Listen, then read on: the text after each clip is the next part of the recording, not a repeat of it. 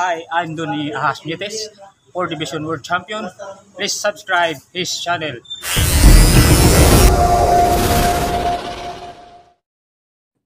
Welcome ulit sa ating munting channel mga tol. Salamat sa inyong suporta.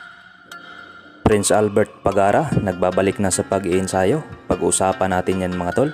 Ngunit bago ang lahat, kung ngayon ka palang napadpad sa aking munting channel, ay mas mabuti mag-subscribe ka na at pindutin na rin ang notification bell button para ma-notify ka sa mga video na ating gagawin.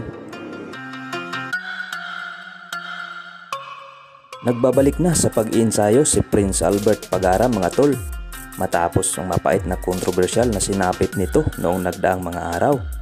Sa kasalukuyan nga ay nag-iensayo nga itong si Albert Pagara sa Villamor Boxing Gym.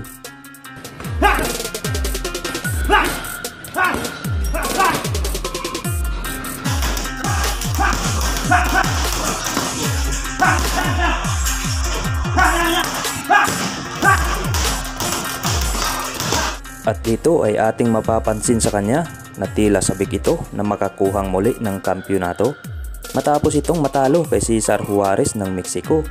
At gusto daw nitong makabangong muli.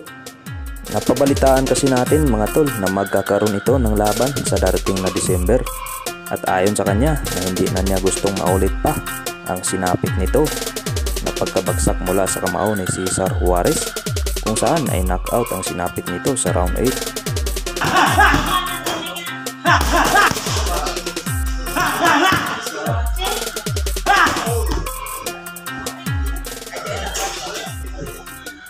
Kasabay